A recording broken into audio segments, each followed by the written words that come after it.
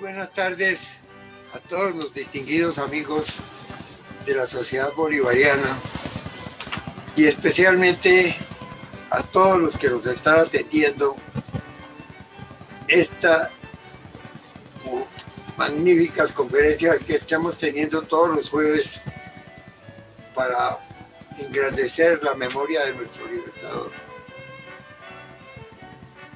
Estamos hoy en el quincuagésimo quinto, es decir, en el 55 encuentro virtual. Es un récord de tamaño. El tema es para hoy muy interesante y se trata de Simón Bolívar y su pasión por los valores supremos de la República, que lo presenta nuestro ilustre miembro Luis Granados Morales. El doctor Luis Granados Morales es un hombre supremamente interesante porque ha tenido una vida larga y llena de merecimientos y de trabajos interesantísimos. Fue nacido en La Palma, en Cundinamarca, hace algunos años. Bastantes como casi los míos.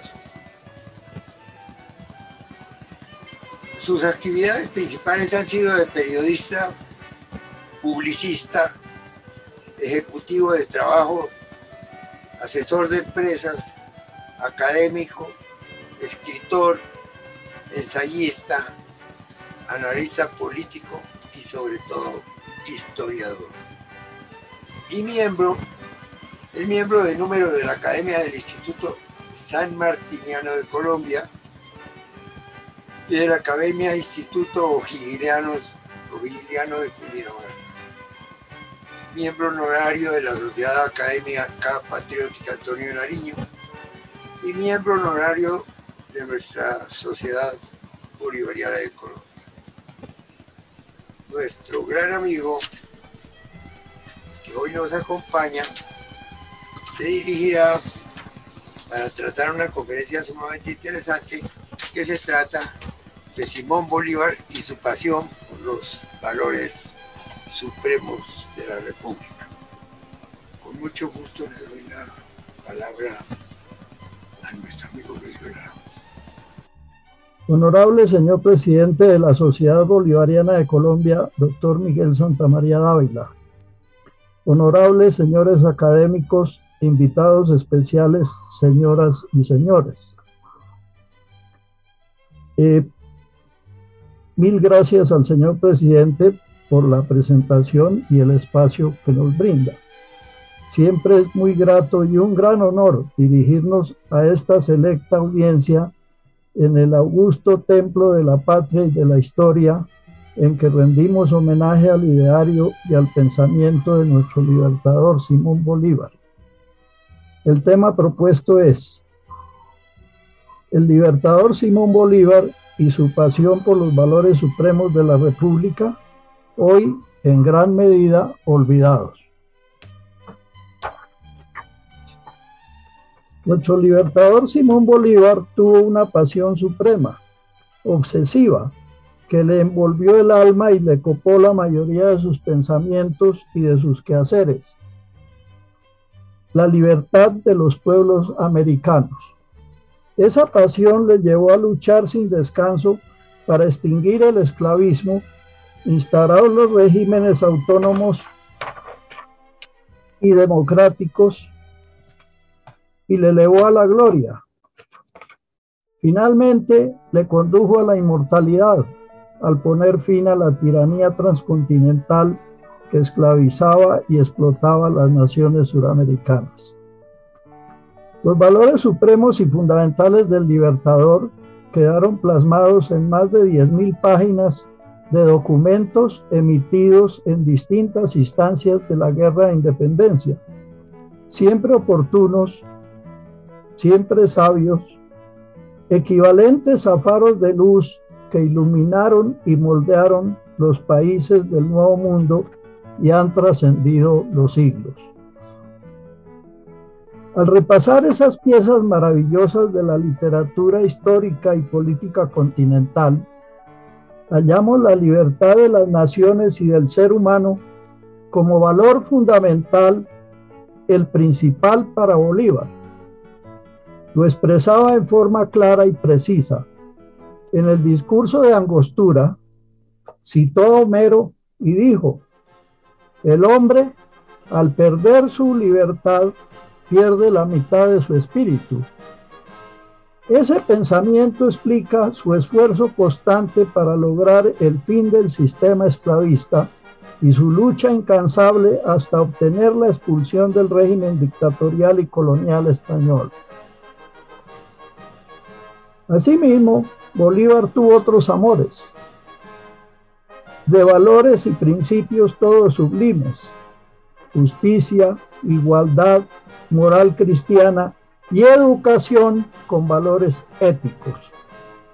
Por ello se desveló y trabajó para introducirlos dentro de la constitución de las nuevas naciones en América. Y todos fueron aceptados como esenciales para la existencia, la armonía y la convivencia pacífica de las nuevas naciones redimidas del continente suramericano. Sus conceptos e ideas y su acción en episodios históricos que vivió comprueban las pasiones y los afectos de Bolívar por los valores básicos de una patria democrática y republicana en libertad, a saber, honestidad, equidad, moral sin sesgos, respeto por los derechos fundamentales de los ciudadanos y respeto y acatamiento de la autoridad legítima emanada del pueblo. Los valores supremos expuestos por Bolívar en la Carta de Jamaica. El libertador Simón Bolívar dictó la Carta de Jamaica a su secretario Pedro Briceño Méndez el 6 de septiembre de 1815.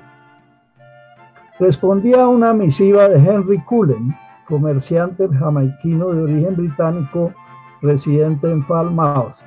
Me dice en la introducción,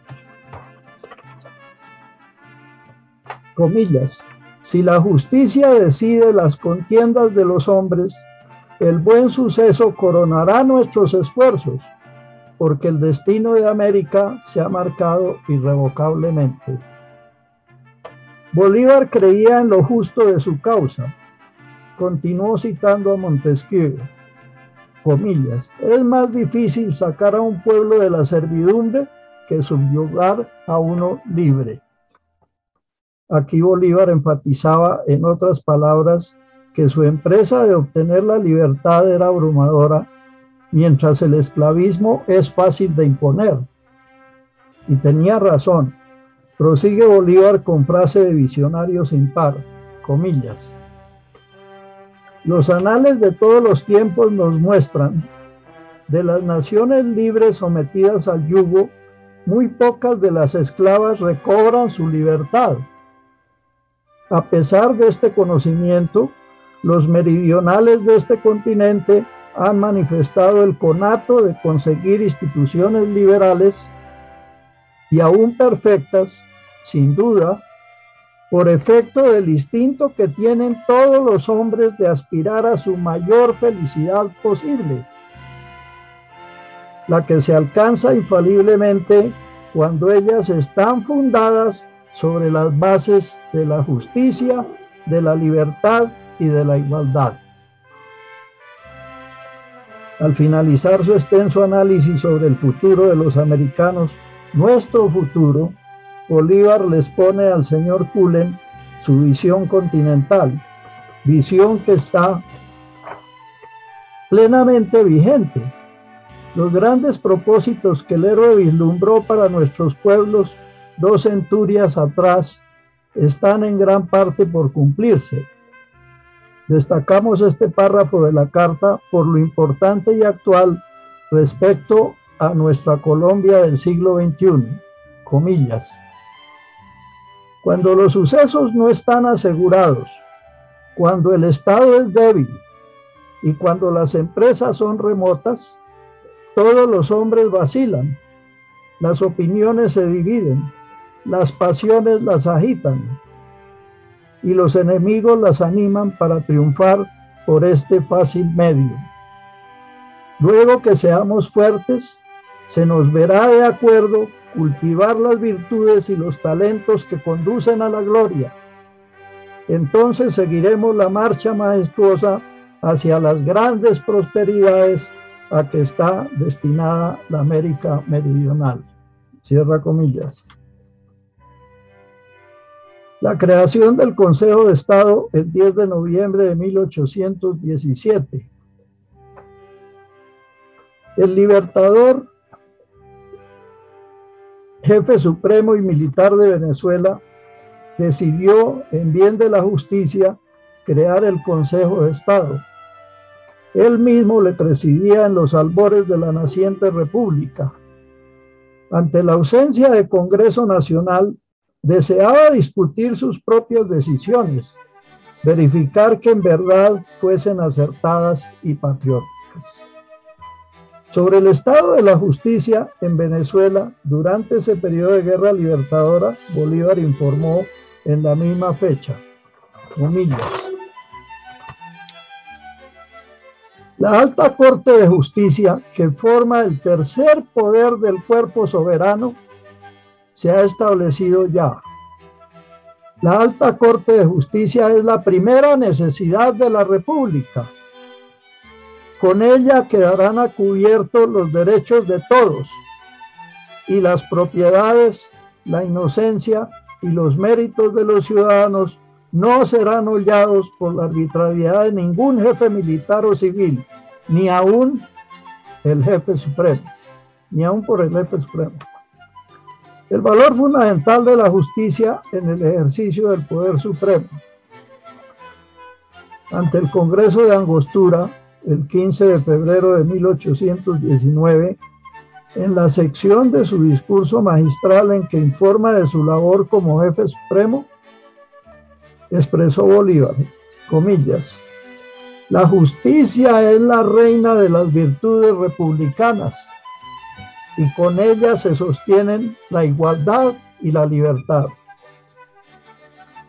Una década más adelante, al asumir en Bogotá la jefatura suprema del gobierno de la Gran Colombia, Bolívar creó el Consejo de Estado de la Gran Nación. En el decreto orgánico expedido el 27 de agosto de 1828, se destacan los deberes más importantes del presidente de la República, muy olvidados por descuidados, negligentes o indelicados mandatarios de nuestro tiempo. Veamos. Título primero del Poder Supremo. Artículo 1. Al jefe de Estado corresponde 1. Establecer y conservar el orden y tranquilidad interior y asegurar el Estado contra todo ataque exterior. 2. Mandar las fuerzas de mar y tierra. Hoy es preciso agregar las del aire y de policía. 6. Velar porque todos los decretos y reglamentos, así como las leyes que hayan de continuar en vigor, sean exactamente ejecutadas en todos los puntos de la República. Y ocho, hacer que la justicia se administre pronta e imparcialmente por los tribunales y juzgados y que sus sentencias se cumplan y ejecuten.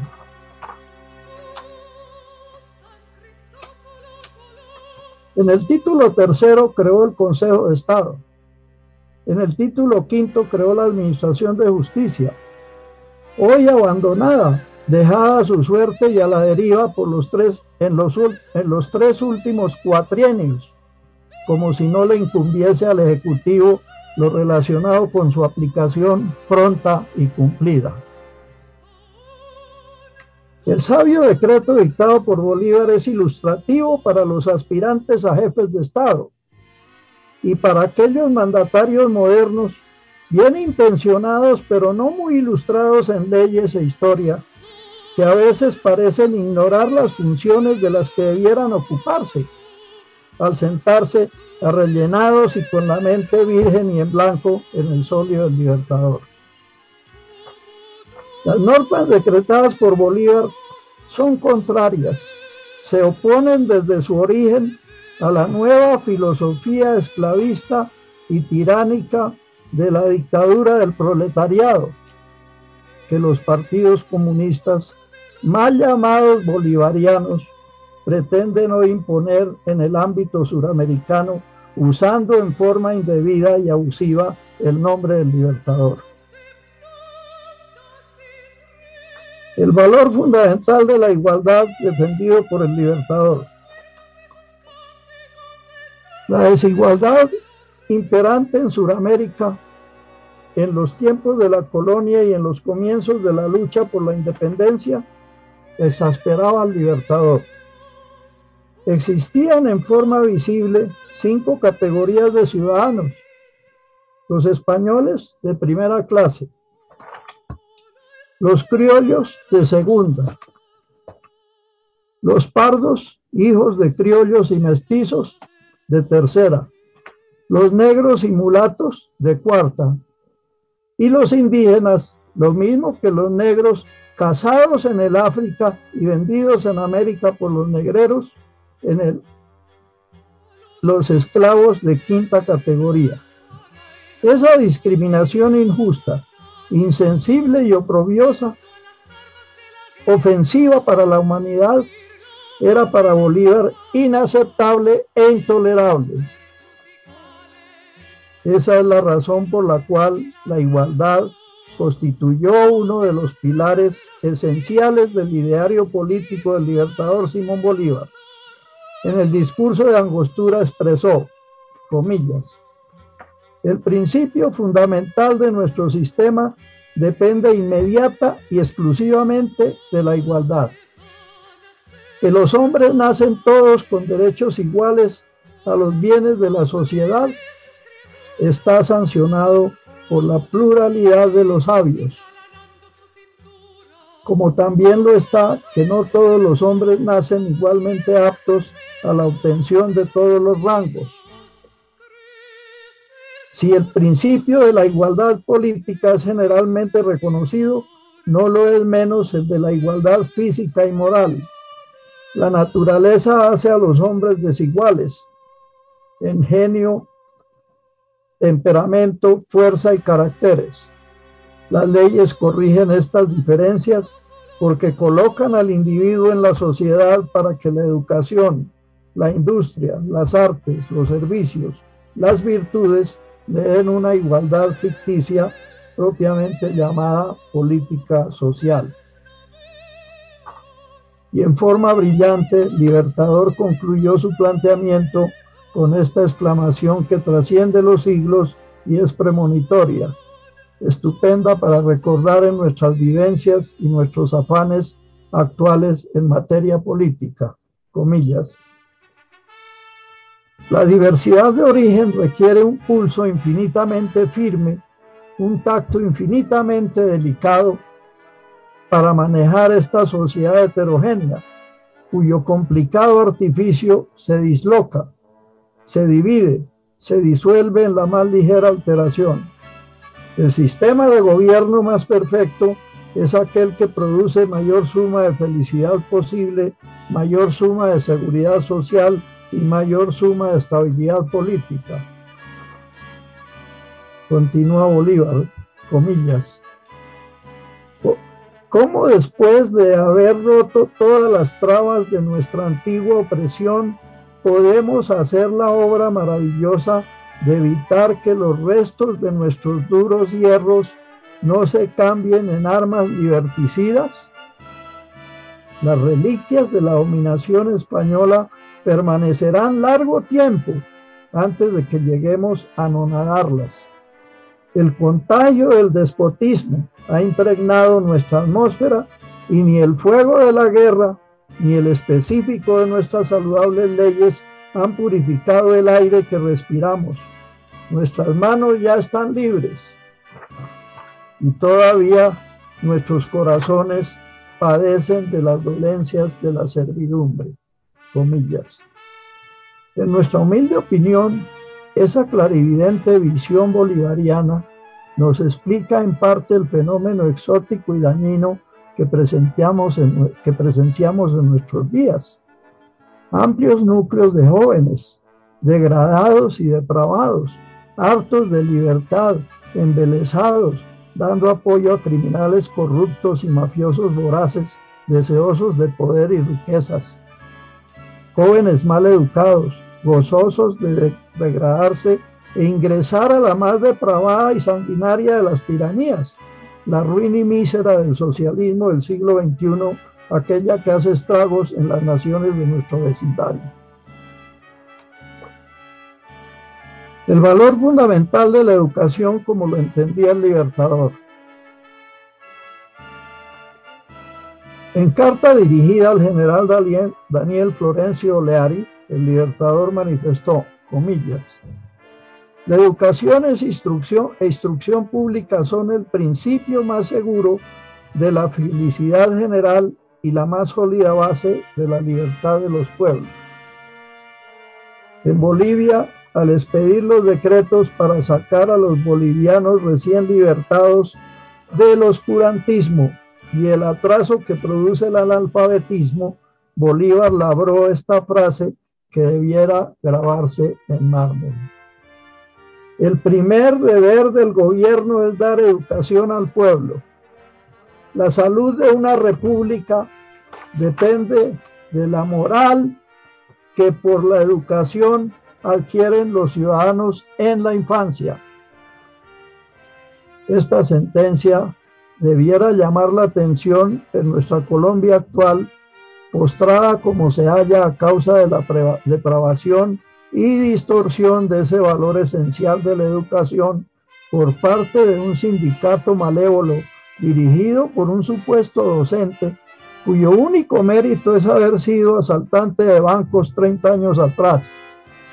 Agrupación sindical que no ofrece educación como valor fundamental, sino que la usa como arma artera para crear una nación, en nuestra nación, una nueva cultura atea anticristiana, amoral y pervertida. Esa frase memorable debería interesar hoy más que nunca a nuestros mandatarios y ministros de educación ante la tragedia que vivimos a causa de la perversión de grandes núcleos juveniles y aún adultos por la acción antipatriótica y venal de ese sindicato delincuencial enemigo de Colombia. En otra oportunidad manifestó Bolívar, comillas,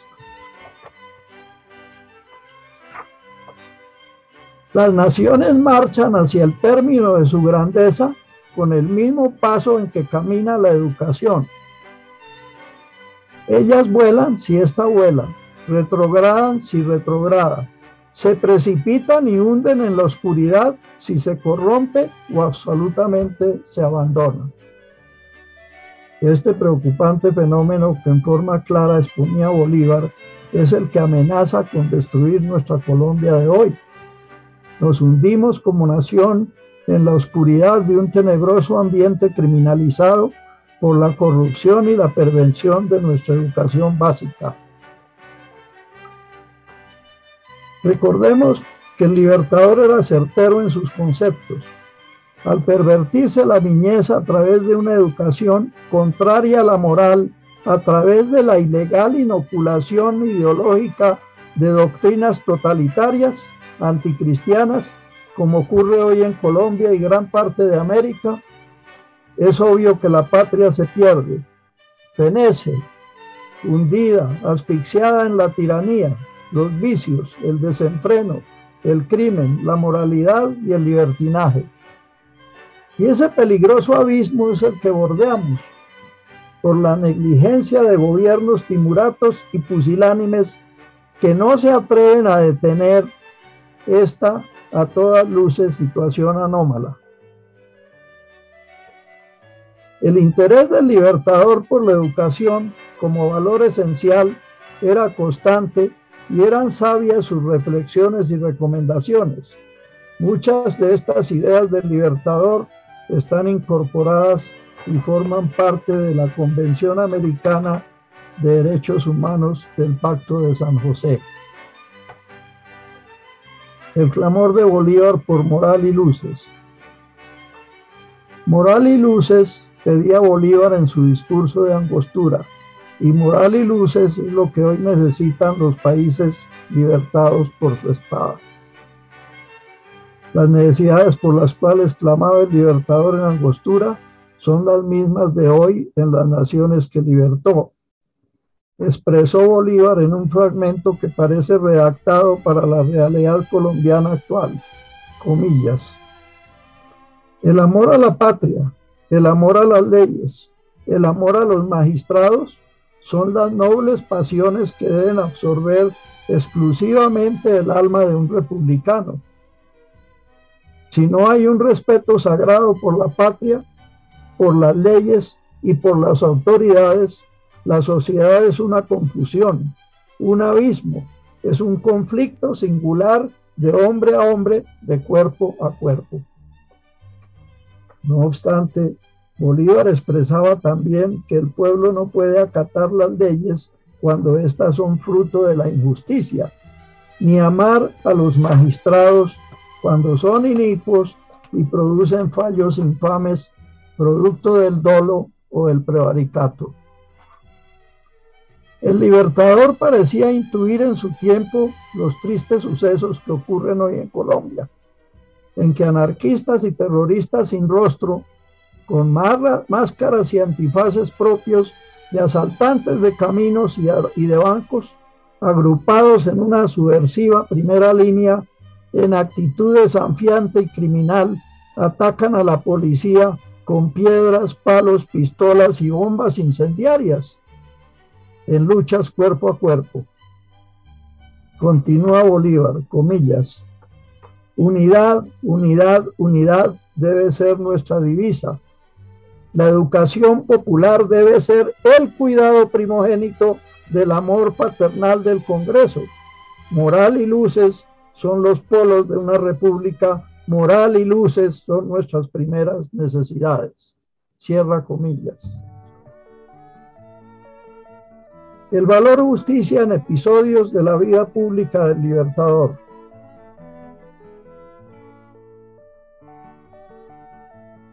la prisión del generalísimo Francisco de Miranda.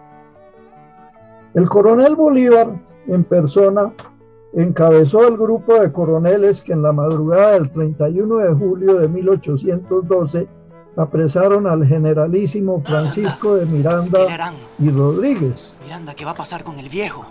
¿Qué le van a hacer? Poco antes de su partida para Europa en la corbeta inglesa Sapphire. Miranda, jefe supremo de la Primera República de Venezuela, con la anuencia de sus asesores, había firmado el pacto de capitulación y rendición ante el comandante realista Juan Domingo Monteverde seis días antes, el 25 de julio de 1812. Monteverde, cruel y despiadado en fama y actuaciones, quebrantó la cláusula especial de respeto a los vencidos al rendirse el ejército patriota, el jefe realista comenzó a torturar, a vejar y a fusilar a muchos de los patriotas militares civiles. El coronel Simón Bolívar se enfureció al contemplar la villanía y la traición de sus enemigos, y su malestar se acrecentó cuando se enteró de que el generalísimo Miranda viajaría enseguida a Europa. En su leal saber y entender, Bolívar veía que el ejército patriota quedaba expósito sin líder. Tendría que hacerse justicia y lo justo sería someter al generalísimo Miranda a un juicio dentro del cual se decidiera su destino. El juicio nunca tuvo lugar. Se frustró por la acción desleal del comandante patriota de la guarnición de La Guaira, Manuel María de las Casas, quien se convirtió en traidor. En vez de llevar al prisionero Miranda al fuerte, como estaba previsto, lo puso a órdenes del malvado Monteverde en conjunto con la corbeta Sapphire. Ese episodio traumático en la vida del libertador y en la existencia misma de Venezuela dejó ver, el juicio nunca tuvo lugar. Se frustró por la acción del comandante patriota de la guarnición de La Guaira, Manuel María de las Casas, quien se convirtió en traidor. En vez de llevar al prisionero Miranda al fuerte como estaba previsto, lo puso a órdenes del malvado Monteverde en conjunto con la corbeta Sapphire. Ese episodio traumático en la vida del libertador y en la existencia misma de Venezuela dejó ver por primera vez y en forma contundente la pasión de Bolívar por el valor justicia y su aplicación cuando lo consideraba necesario. El juicio y condena a muerte del general Piar el 16 de octubre de 1817 fue fusilado en Plaza Mayor de Angostura, hoy Ciudad Bolívar, el general Manuel María Francisco Piar, en cumplimiento de la sentencia del Consejo de Guerra confirmada por Simón Bolívar. El general Piar fue ejecutado por sus crímenes de lesa patria, conspiración y deserción al día siguiente, el libertador emitió una proclama al ejército en la que destacó que el juicio fue adelantado por un tribunal justo y legal. Aunque el tribunal condenó a Piar a muerte y a la pérdida de todos sus grados y dignidades, el libertador, al confirmar la sentencia, consideró justo y ordenó que debía conservar dichos títulos y dignidades por sus méritos militares.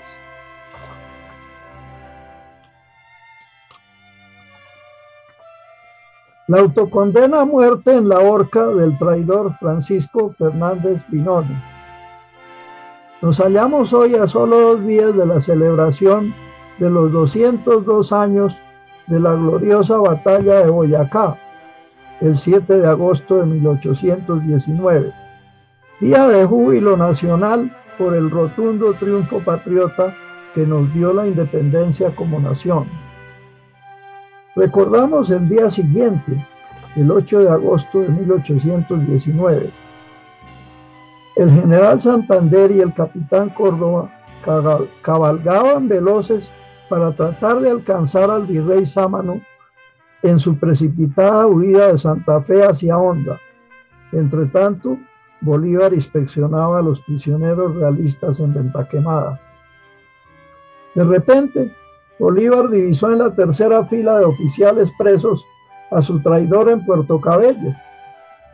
Siete años atrás, era excelente fisonomista y tenía bien grabada en su mente la estampa del vendido Fernández Dinoni capitán realista.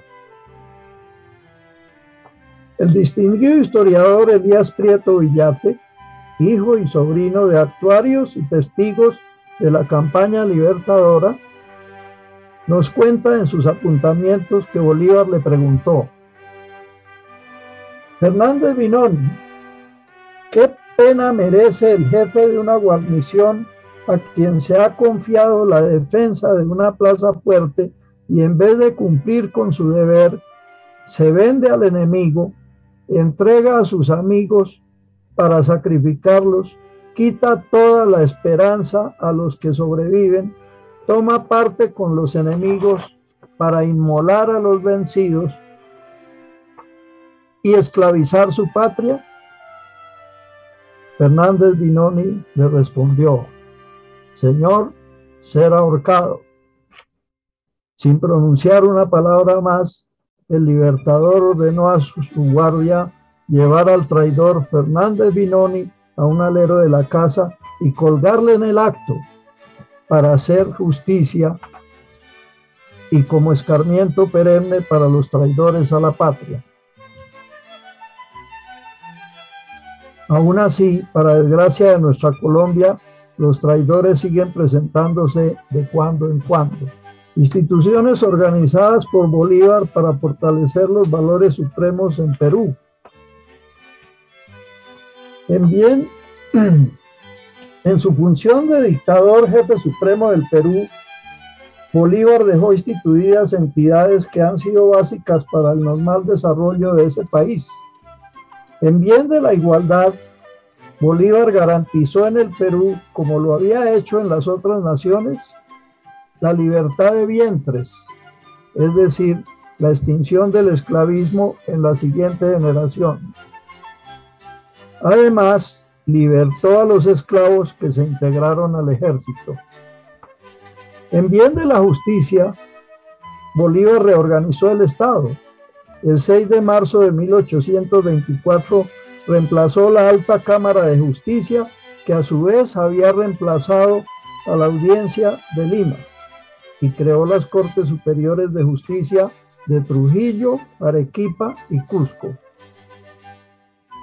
En bien de la educación pública, Bolívar creó importantes colegios, entre ellos el Colegio Nacional de Ciencias y el Colegio de Educandas en el Cusco, instituciones conocidas como los Colegios Nacionales Bolivarianos en el Perú. La amenaza del nuevo esclavismo socialista en Colombia y Latinoamérica por el olvido de los valores éticos y morales preconizados por el Libertador. Hemos visto con estupor cómo en la hora actual el neocomunismo, el socialismo del siglo XXI, pretende subyugar, esclavizar de nuevo a Latinoamérica y hundirla en la ominosa dictadura del proletariado. Que nuestra vecina y hermana, la antes pujante y rica Venezuela, la propia patria chica del libertador sea en nuestros días una nación esclava que no goza de la libertad, la igualdad ni de la justicia que Bolívar ansiaba para nuestros pueblos, constituye una, una ironía, una paradoja siniestra, sorprendente, inconcebible hace tres décadas. Y constituye una infame afrenta al mundo civilizado que malhechores, malvados canallas que se autodenominan revolucionarios bolivarianos, con crueldad que clama al cielo, hayan destruido el aparato empresarial y productivo de ese otro gran país y que hayan provocado el éxodo de más de 6 millones de venezolanos y que finalmente hubiesen llevado al resto de la población a la total miseria obligada a alimentarse de desechos en las canecas de basura. Horrorizamos, horrorizados, hemos visto también a Colombia, bajo ataque en el 2019 y en el 2021, para cumplir así más de 70 años de martirio terrorista dentro de una agresión sistemática, continuada, despiadada y feroz. La Internacional Socialista fortalecida por su maléfico contubernio con la mafia del narcotráfico, codicia nuestra patria libre y soberana.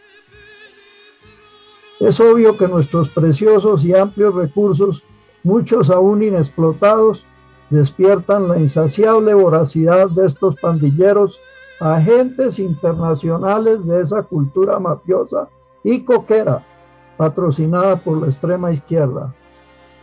Colombia es hoy objetivo predilecto de esa temible organización política transnacional, comunista, castrochavista, exótica y totalitaria, que por triste paradoja se autodenomina socialismo bolivariano.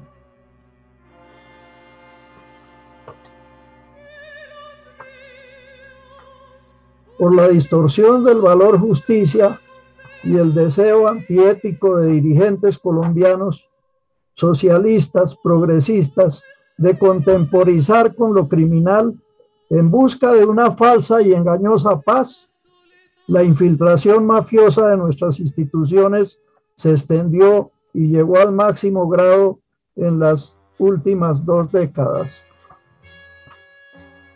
Amigos y favorecedores de criminales atroces y narcoterroristas enemigos de nuestra patria democrática con libertades, controlan hoy gran parte del Poder Judicial, parte del Legislativo, las alcaldías de cinco ciudades principales y muchas de las más pequeñas, las gobernaciones de cinco departamentos y la administración de 27 extensos territorios del campo colombiano cedidos a los criminales por el pasado régimen amigo y socio de narcoterroristas.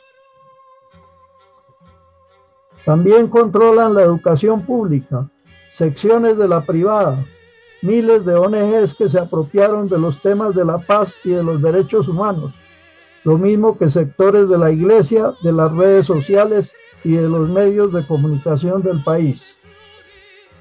También tenemos que soportar el ponzoñoso quiste de las repúblicas independientes, aquellas de las que nos alertaba el mártir Álvaro Gómez Hurtado.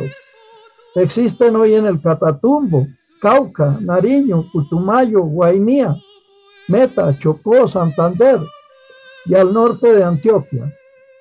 Ya vimos cómo el acto plausible de viajar al Catatumbo a ejercer soberanía casi le cuesta la vida al señor presidente de la República, víctima de nefando atentado hace apenas 45 días. El colmo del horror. Conclusiones. La justicia. El culto al valor justicia es vital para el tranquilo devenir de las naciones democráticas. Sabemos bien que la ausencia de justicia o su aplicación sesgada, politizada o venal para perseguir inocentes o para garantizar impunidad de criminales atroces, como ocurre en Colombia en la época contemporánea, estimula la desconfianza de los ciudadanos en las instituciones, fomenta la proliferación de criminales, incentiva la expansión de los delitos y permite los atropellos a los derechos ciudadanos. Finalmente, al provocar la indignación general, los ciudadanos terminan aplicando justicia por mano propia dentro de un escenario tenebroso de caos y anarquía, la antesala de la guerra civil. Bolívar conocía bien ese nefasto proceso, de ahí su afán de organizar la justicia y de reglamentar su aplicación pronta y eficaz con pureza y equidad. Tres décadas atrás, el terrorismo narcotraficante creó en nuestra nación un escenario de violencia, iniquidad e ignominia que hizo metástasis con el nefando holocausto del Palacio de Justicia. La justicia, aterrada, cedió y terminó corrompida. Hoy sufre la tenaza impuesta por un corrupto cartel de la toga y por un perverso sindicato procomunista. La minoría de magistrados pulcros y honestos que aún existen y que honran a su patria, nada pueden hacer ante las mayorías deshonestas y, prevaricadoras que imponen inicuos fallos y en algunos casos se lucran a través de ellos. El abandono de que es objeto el valor justicia, la indiferencia de los ministros de justicia contemporáneos sobre el tema ha sido fatal para Colombia. Con certeza se puede afirmar que la justicia con equidad se aplica en Colombia solo en el 10% de los casos y no existe la pronta y cumplida la que dé a cada cual la suyo, la anhelada por el libertador. El valor igualdad. La igualdad entendida no en el sentido socialista y comunista de que todos los camaradas deben ser pobres y míseros esclavos sometidos al omnipotente Estado, sino en el real sentido bolivariano y democrático de la igualdad de los ciudadanos ante la ley y ante los derechos del hombre y del ciudadano, también desapareció en Colombia. Se esfumó al desaparecer su hada madrina y protectora, la justicia.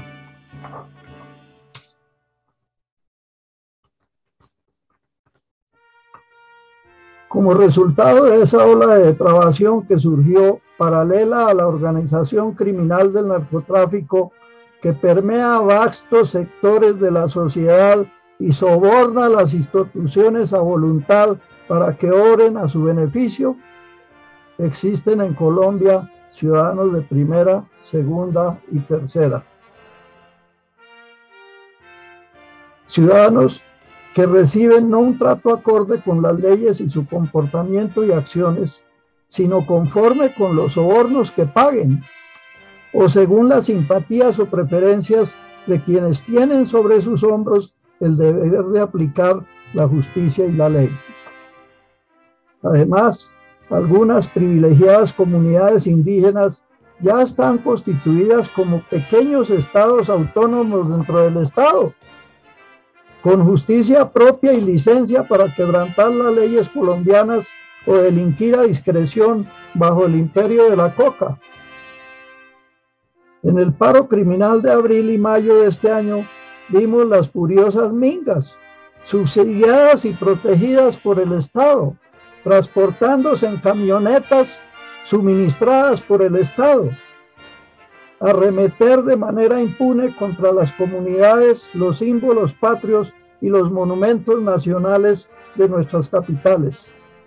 Destruyeron algunos, como la estatua del prócer Antonio Nariño en Pasto y otras de nuestros fundadores, bajo la mirada indiferente de las autoridades. El monumento a nuestros héroes en Bogotá fue semidestruido y la estatua de nuestro libertador escondida por la ministra de Cultura para que no fuese hecha polvo. Llegamos al estado ignominioso de tener que esconder las esculturas y la memoria de nuestro libertador, mientras las autoridades, más apaciguadoras que respetables, suplicaban a los bandidos diálogo en vez de reprimir los actos vandálicos con coraje y energía, como lo hubiese hecho sin dilación alguna el propio Simón Bolívar. Por último, existen los sindicatos con sesgo, con sesgo subversivo, todopoderosos, que pueden, a golpes de paro y crimen, arrodillar, secuestrar y extorsionar al país cuando lo juzgan apropiado como lo vimos hace apenas dos meses. Y siguen tan campantes, recibiendo en los periodos de paro criminal salarios y prestaciones indebidas, que el fabricante Estado aprueba en vez de imponerles las condignas sanciones a los responsables de la empresa criminal. El valor educación. El valor educación con valores éticos es vital para la salud de la patria sostenía el libertador. El proceso maligno y pernicioso del adoctrinamiento materialista de los niños y jóvenes que hoy sufrimos los colombianos comenzó dentro de esa misma ola de depravación que se inició por los años 60 del siglo XX. Educadores librepensadores, ateos, defensores del libre desarrollo de la personalidad simpatizantes de las ideas socialistas, estudiosos de Marx, Lenin y Sartre, y admiradores de Simón de Beauvoir, anticristianos y materialistas, pidieron la reforma de los pensum. La autoridad administrativa, complaciente, dialogante, apaciguadora, al mejor estilo Chamberlain, simpatizante con las ideas progresistas y disolventes del socialismo, aceptó los argumentos de los modernos educadores. En mala hora, ordenó la eliminación por inútiles, cavernarias e innecesarias de las cátedras de historia patria e instrucción cívica que formaban el alma de los patriotas. Suprimieron la historia sagrada, la urbanidad y buenas costumbres la religión, incluso las enseñanzas básicas del catecismo que formaban a los ciudadanos cristianos, decentes, pulcros y servidores del prójimo y de la sociedad. Los dañinos frutos de la mala siembra.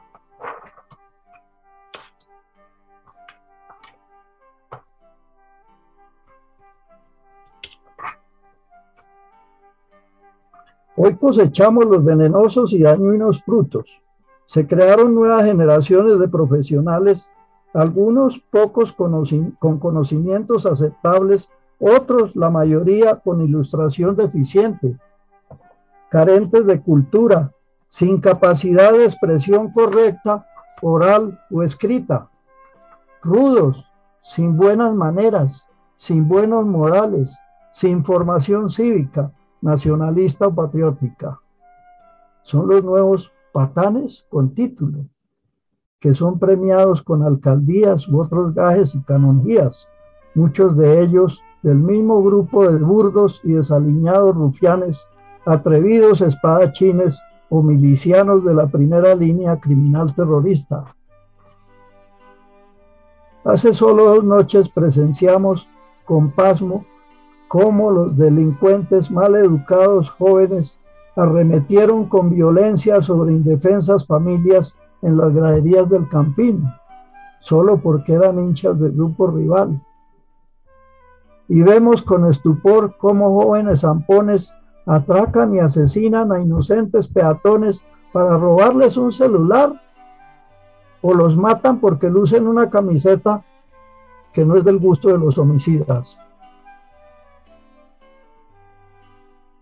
Hemos visto también con espanto de patriotas la horda de delincuentes encapuchados, vándalos o milicianos urbanos, destructores de país, controlando la orientación de jóvenes y niños en universidades, colegios públicos y en algunos privados.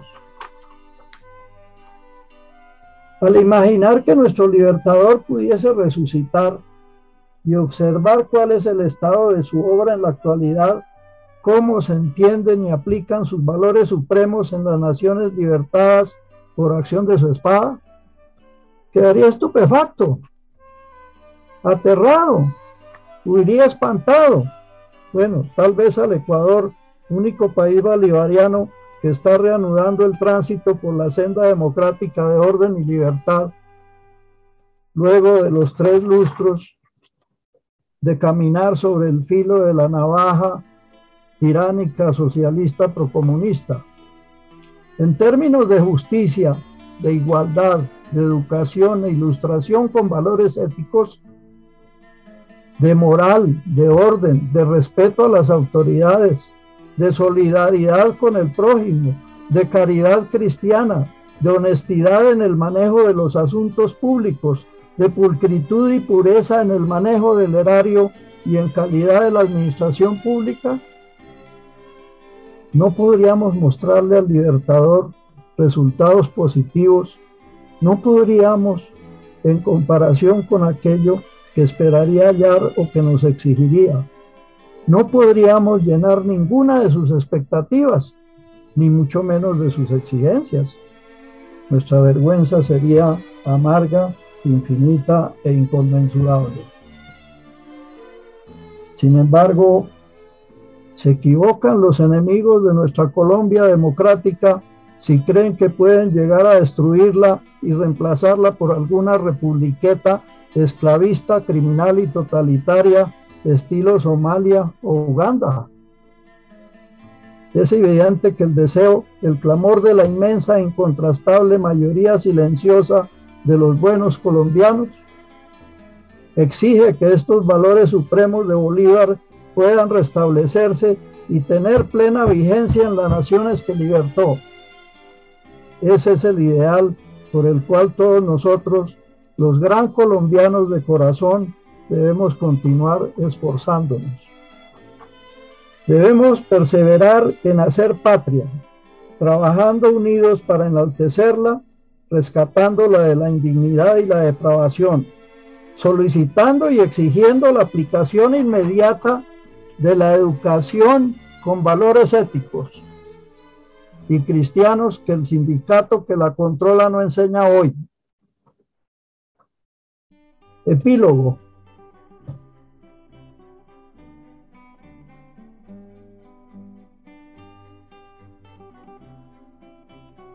Los hombres somos solo brisnas de hierba en las manos de Dios exclamó el presidente Laureano Gómez cuando más duro le golpeaba la adversidad en días previos al destierro en 1953. No obstante, aun siendo así de pequeños e infinitesimales, en comparación con la grandiosidad del universo, debemos defender con fervor los inmutables principios que el Señor de todo lo creado estableció a través de Moisés y de su Hijo bien amado. Debemos continuar trabajando para rescatar del borde del abismo y hacer grande y gloriosa esta patria que el libertador Simón Bolívar nos legó. Patria que con todas sus virtudes y defectos tanto nos duele, tanto amamos y siempre defenderemos. Nuestro profundo sentimiento de gratitud al señor presidente doctor Miguel Santamaría Ávila por su gentil invitación y a los honorables miembros de la Sociedad Bolivariana y distinguidos oyentes por su amable atención y su reconocida paciencia. Mil gracias y felicidades a todos.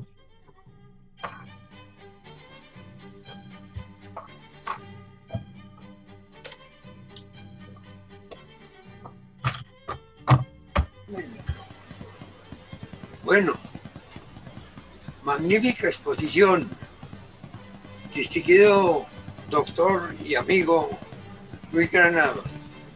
Creo que has hecho una exposición extraordinaria y sobre todo muy ilustrativa de la situación antigua y actual.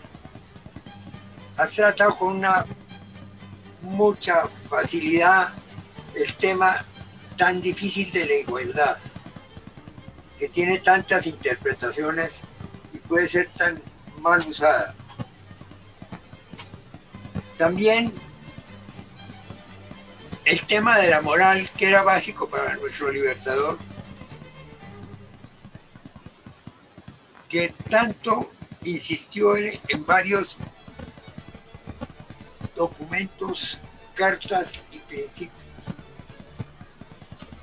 Eso es un punto absolutamente fundamental dentro de las tesis del Libertador, que dejó muchísimas luces, pero que esas luces han, han sido opacadas por trabajos insólitos y sobre todo por el olvido de los principios fundamentales que siempre albergó. Te felicito profundamente por haber hecho este descarnado análisis de la situación con autoridad, con conocimiento y sobre todo con un fervor patriótico verdaderamente admirable. Te agradezco muchísimo tu presencia en el día de hoy y creo que será para las juventudes un punto de reflexión importantísimo lo que tú has dicho para ver si podemos enderezar la dolorosa situación. Un gran abrazo Mil gracias, señor presidente, por sus palabras. Mil gracias a todos por su paciencia. quiero invitar a los miembros de nuestra. Espero haber interpretado el sentimiento de los millones de patriotas colombianos que se sienten hoy aterrados por el olvido de los principios y valores preconizados por el Libertador. Señor, así es. Quiero invitar a ver quién quiere hacer una intervención o una explicación al coronel Mario. Gracias, señor presidente. Eh, indudablemente, la conferencia del doctor Luis Granados ha sido ejemplar. Que la lectura que usted ha hecho hoy indudablemente es demostrativa de su sentimiento patriótico, del sentido de patria y de la verdad. No digo nada del estilo que coincide con mi manera de ver las cosas y de sentirlas. Usted ha hecho una exposición clarísima de la verdad de esta patria, en el pasado, en el presente que es doloroso y que indudablemente sus palabras tienen que ser una enseñanza y una contribución a que se corrijan tantas barbaridades que en nombre de la ley y de la misma patria se cometen.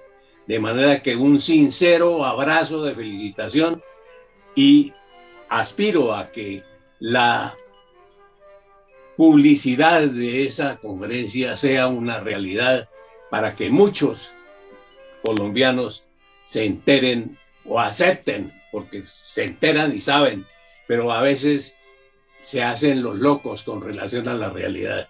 De manera que felicitaciones nuevamente y muy buenas tardes. Gracias.